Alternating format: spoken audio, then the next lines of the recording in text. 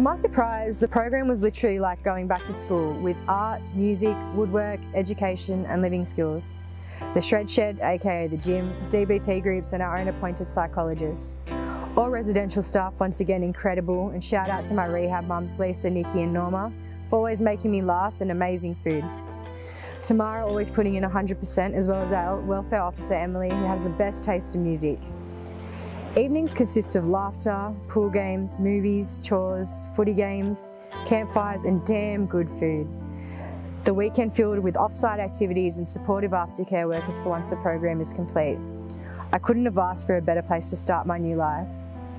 Since being at TCF, I'm constantly surprising myself and I'm a very different woman now to when Dad first drove me here when I was ready to jump out of the moving car door. I'm learning that I'm stronger than I could have ever imagined.